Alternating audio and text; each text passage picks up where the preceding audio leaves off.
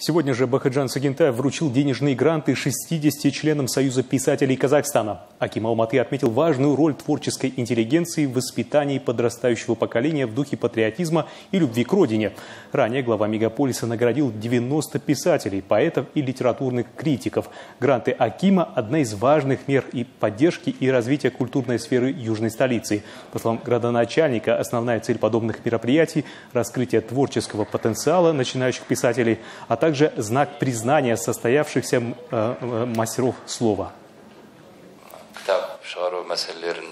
Мы взяли под контроль развитие писательского и издательского дела. Мы учли предложения Союза писателей Казахстана, сформировали бюджет следующего года. Начиная с января мы будем издавать ваши книги согласно плану. По словам Бахаджана Загентаева, городская администрация продолжит оказывать необходимую поддержку в издании книг и проведении творческих конкурсов. В планах провести в здании Дома писателей капитальный ремонт. Аким также призвал творческую интеллигенцию принять активное участие в формировании контента праздничных мероприятий следующего года. В частности, таких как юбилей Абая и Аль-Фараби, а также 750-летие Золотой Орды. Это уже второе награждение писателей. Аким выполняет свои обещания. Такие мероприятия стимулируют нас, писателей, к усердной творческой работе. Поздравляю своих коллег и желаю успехов.